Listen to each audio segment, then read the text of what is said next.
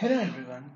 Today we will learn some basic concepts about jurisprudence through some basic MCQs. So without wasting any time, let's start with it. The first question is criticizing Savigny's theory. Who said that Savini encouraged the juristic pessimism? The options are A.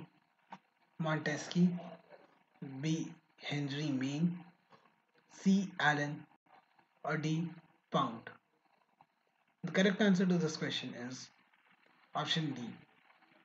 That means Pound criticized Savigny's theory and said that he encouraged a juristic pessimism in the field of jurisprudence. The next question is Frederick Carl von Savigny has observed that custom precedes legislation. Legislation must confirm customary practices. Custom is not important than legislation. And custom is superior to the legislation. Among the above judge uh, sentences, select the appropriate options. The option are A. The state second, third, and fourth statement are correct. B. First, third, and fourth statement are correct. C. First, second, and the fourth statement is correct. Or D. The first, second, and third statement are correct. The correct answer to this question is option C. That is, the first, second, and the fourth statement are correct. That means to say, Frederick Carl von Savigny observed that custom precedes legislation Legislation must conform customary practices and custom is superior to legislation. The next question is Law grows with the growth of people, strengthens with the strength of the people, and finally dies away as a nation loses its nationality. The statement was given by which of the following jurists? The options are A. Henry Maine, B. Savigny, C. Hobbes or D. Rousseau? The correct answer to this question is option B. That is, Savigny was a jurist who said that law grows with the growth of people, strengthens with the strength of the people, and finally dies away as a nation loses its nationality. The next question is Indicate the correct meaning of the theory of social engineering propounded by Roscoe Pound. The options are A. Greatest happiness to the greatest number of people. B. Changes in the concept and function of the state. C. Balancing of the competing interest in the society. And D. Law has its source in the general consciousness. The correct answer to this question is option C. That is Social engineering, as given by Roscoe Pound, means balancing of a competing interest in the society so that the interest of every person, be it an individual or the state, are catered and there is a balance between the interest and the happiness of the individual as well as the state. The next question is Law is a sum of conditions of social life, as secured by the power of the state through the means of external compulsion. This statement relates to which school of jurisprudence? The options are A. Historical school of jurisprudence, B. Analytical school of jurisprudence, C.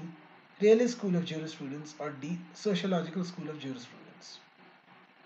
The correct answer to this question is option D, that is the sociological school of jurisprudence thinks and says that law is a sum of conditions of social life as secured by the power of the state through the means of the external compulsion. The next question is Who said that there is no substantial difference between formal legal norms and the norms of the customs of the usages because the sanction behind both of them is the same? The options are A. Ehrlich, B. Ihering, or C. Duguit?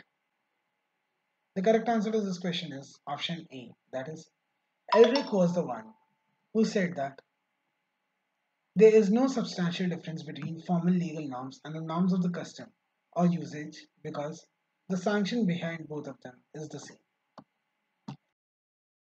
The next question is Main pioneer of the sociological school of jurisprudence are which of the following? The options are A. Montesquieu, B. Hegel, C. Sir Henry Maine, or D. None of the above. The correct answer to this question is option A. That is, Montesquieu is considered and known as a main pioneer of the sociological school of jurisprudence. The next question is, which one of the following is correctly matched? The options are A. Social contract is not historical fact, but a hypothetical construction of the reason. That this statement was given by Locke. B. Law is a result of constant struggle.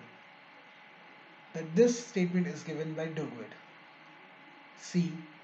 The law of the community is to be found in social facts and not in the formal sources of law that this statement was given by Ehrlich or D that law has its source in the general consciousness of the people and that this statement was given by Henry Maine. The correct answer to this question is option C that is the statement the law of the community is to be found in the social facts and not in the formal sources of law is given by Ehrlich is correctly matched. The next question is What are the opinions of the jurist? The options are A. These are the general sources of law. B. The opinions are the historical material and the source of law. C. The opinions are the legal material source of law. Or D. They are not at all a source of law.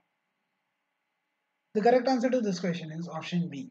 That is, opinion of the jurist is considered to be the historical material source of law.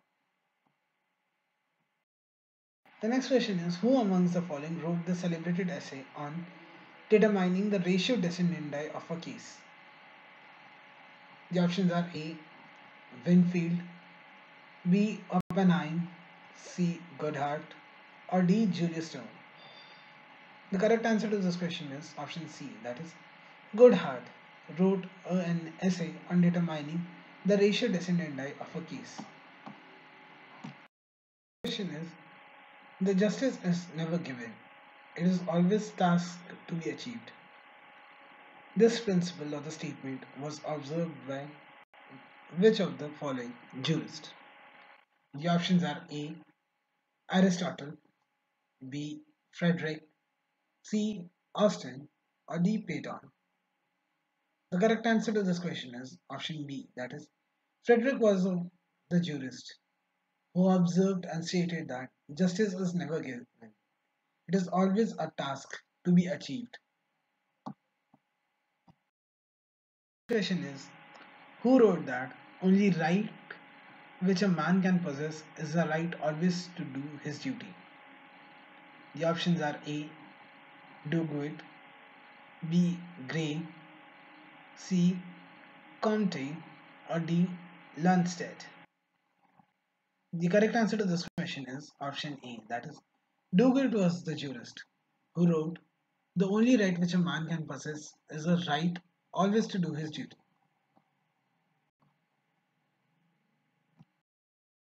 The next question is, according to Hohfeld, what is a jural opposite of power? The options are A. Right B. Duty C. Disability or D. Liability. The correct answer to this question is option C. That is, the jural opposite of power is disability.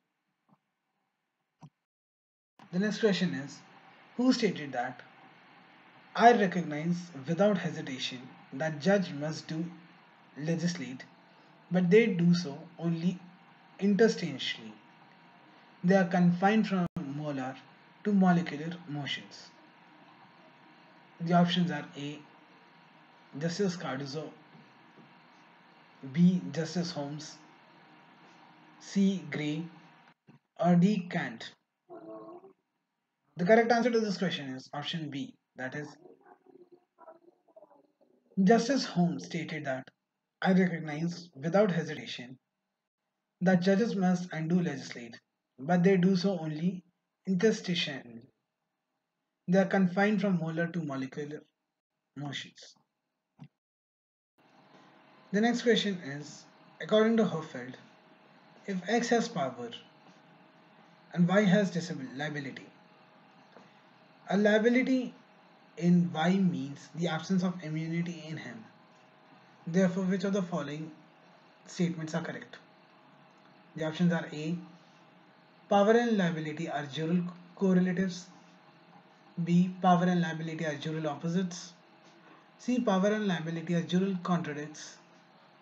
Or D. There is no relation between power and liability. The correct answer to this question is option A. That is, in the above statement, power and liability are dual correlatives.